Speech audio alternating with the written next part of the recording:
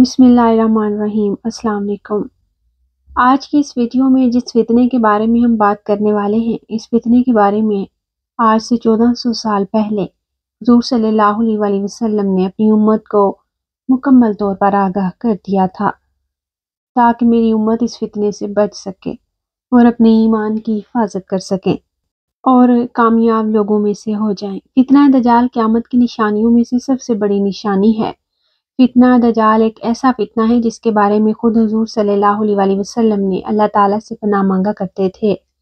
और जब हजूर सल्लल्लाहु अलैहि वसल्लम अपनी मजलिस के अंदर दजाल का ज़िक्र करते तो सहाबा कराम इस फितने से पनाह मांगा करते और रोया करते। आज की इस वीडियो में क्यामत के सबसे बड़े फितने यानी दजाल के बारे में बात करेंगे और आपको बताएँगे कि दजाल की खरूज से पहले दुनिया के हालात कैसे होंगे। और दजाल कौन सी बस्ती से ज़ाहिर होगा। और दजाल के खरूज का वक्त कितना करीब आ चुका है? और दजाल के फितने से बचने के लिए दजाल को कैसे पहचाना जाएगा? और दजाल की निशानियाँ कौन कौन सी होंगी? और दजाल जिस दुनिया के अंदर ज़ाहिर होगा तो किस तरह खुदाई का दावा करेगा? और वो अपनी जन्नत और दोजख के ज़रिए किस तरह मासूम लोगों को गुमराह करेगा? दजाल की शक्ल सूरत कैसी होगी? और दजाल इस दुनिया के अंदर कितने दिन रहेगा? इन तमाम तर सवालों के जवाब कुरान हदीस की रोशनी में आज की इस वीडियो में हम आपको बताएँगे। लिहाजा आपसे गुजारिश है कि वीडियो के अंत तक ज़रूर देखिएगा। दजाल का खरूज कहाँ से होगा? पहले इस बारे में बात करते हैं। इसके बारे में हजूर सल्लल्लाहु अलैहि वसल्लम ने इरशाद फरमाया कि दजाल का खरूज असफहान की यहूदिया नामी बस्ती से होगा और दजाल के खरूज से पहले दुनिया की हालत कैसी होगी? हज़रत अंस बिन मालिक रज़ी अल्लाह तु रिवायत करते हैं कि नबी करीम सल्लल्लाहु अलैहि वसल्लम ने शाद फरमाया कि दजाल के खरूज से पहले चंद साल धोखे और फरेब के होंगे। इस दौर के अंदर सच्चे को झूठा बना दिया जाएगा और झूठे को सच्चा बना दिया जाएगा। खयानत करने वालों को अमानतदार बना दिया जाएगा और अमानतदारों को खयानत करने वाला बना दिया जाएगा। हजूर सल्लल्लाहु अलैहि वसल्लम ने दजाल के बारे में खबर देते हुए शाद फरमाया, जब लोग दो जमातों के अंदर तकसीम हो जाएँगे, एक अहले ईमान की जमात होगी जिसके अंदर बिल्कुल भी नफाक नहीं होगा और दूसरी जमात मुनाफिकों की होगी जिसके अंदर बिल्कुल भी ईमान नहीं होगा। जब ये दोनों जमातें इकट्ठी हो जाएँ, यानी अहले ईमान एक तरफ़ और मुनाफिकीन एक तरफ़ तो उस वक्त तुम लोग दजाल के खरोज का इंतज़ार करो। कि वो आ जाएगा या कल आएगा। हज़रत असमा रज़ी अल्लाह गफ़ारी रवायत करती हैं कि हजूर अलैहि वसल्लम मेरे घर में तशरीफ़ फरमा थे और आपने दजाल का बयान फरमाया। तो हजूर अलैहि वसल्लम ने इरशाद फरमाया कि दजाल की खरूज से पहले तीन साल ऐसे होंगे कि पहले साल में आसमान एक तहाई बारिश रोक लेगा और ज़मीन एक तहाई पैदावार रोक लेगी। और दूसरा साल ऐसा होगा कि आसमान दो तहाई बारिश रोक लेगा और ज़मीन दो तहाई पैदावार रोक लेगी।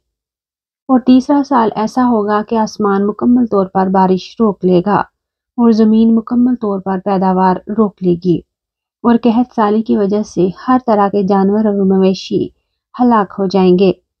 हज़रत अंस बयान फरमाते हैं कि नबी करीम सल्लल्लाहु अलैहि वसल्लम ने फरमाया, इस रोए ज़मीन पर कोई नबी ऐसा नहीं भेजा गया। जिस पैगंबर ने इस कान अजाब से अपनी उम्मत को ना डराया हो। सुनो, बेशक वो काना होगा और तुम्हारा रब बेशक काना नहीं है। और इसकी दोनों आँखों के दरमियान काफर लिखा होगा।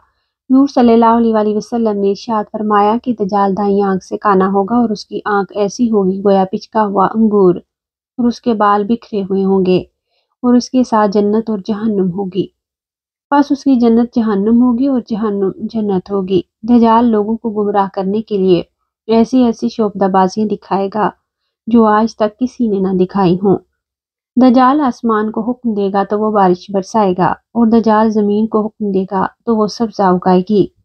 और दजाल जिस इलाके को चाहेगा, सरसब्जो शादाब बनाएगा, और उसके अंदर तरह तरह के बागात उगा देगा, और जिस इलाके को चाहेगा, बंजरों वीरान कर देगा। दजाल के बालों की ज्यादती और उलझे हुए होने की वजह से उसका सर इस तरह नज़र आएगा, गोया दरख्त की शाखें हों। हजूर सल्लल्लाहु अलैहि वसल्लम ने दजाल की पहचान के बारे में इशाद फरमाया कि इसकी दोनों आँखों के दरमियान का काफर लिखा होगा और हर मोमी ख्वाह वो पढ़ा लिखा हो या अनपढ़ उसको पहचान लेगा और इस दौर के अंदर मुनाफिक हर गज दजाल को पहचान ना सकेंगे। रसूलुल्लाह सल्लल्लाहु अलैहि वसल्लम ने इरशाद फरमाया, दजाल के साथ दो फरिश्ते होंगे, जो उसके साथ दो नबियों की सूरत में होंगे। रसूलुल्लाह सल्लल्लाहु अलैहि वसल्लम ने इरशाद फरमाया, अगर मैं चाहूँ तो इन दोनों नबियों के नाम और उनके वालिदैन के नाम भी बता सकता हूँ।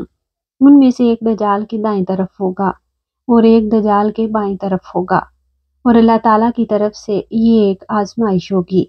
दजाल खुदाई का दावा करेगा। और वो कहेगा कि क्या मैं तुम्हारा रब नहीं हूँ? क्या मैं मुर्दों को ज़िंदा नहीं कर सकता? और क्या मैं मौत नहीं दे सकता? तो उस वक़्त एक फरिश्ता कहेगा कि तू झूठा है। फरिश्ते की इस बात को दूसरे फरिश्ते के अलावा कोई इंसान ना सुन सकेगा। तो उस वक्त पहला फरिश्ता दूसरे फरिश्ते से कहेगा कि बेशक तूने सच कहा। तो इस दूसरे फरिश्ते की बात को सब लोग सुनेंगे। फरिश्ते की ये बात सुनकर सब लोग ये समझेंगे कि ये फरिश्ता दजाल को सच्चा कह रहा है, और ये भी अल्लाह ताला की तरफ़ से एक बहुत बड़ी आजमाइश होगी। फितना दजाल के वक़्त बहुत सारे ऐसे इंसान होंगे जो अपना ईमान डॉलर और दुनियावी हुसन के बदले बेच चुके होंगे, जिन्होंने ईमान को छोड़कर दुनिया को इख्तियार कर लिया होगा, और जिन्होंने अल्लाह ताला के नाम पर कुर्बान होने की बजाय दजाल की ताकत के सामने सर को झुका लिया होगा। और ये लोग दजाल का कुफर नहीं पढ़ पाएँगे। बल्कि ये बदबख्त लोग इस वक्त दजाल को इंसानियत का मसीहा और निजात दहिंदा साबित कर रहे होंगे और उसके लिए दलाइल ढूंढे जा रहे होंगे। और वो इतना ख़तरनाक दौर होगा कि उस वक्त दजाल के खिलाफ लड़ने वालों को गुमराह करार दे दिया जाएगा।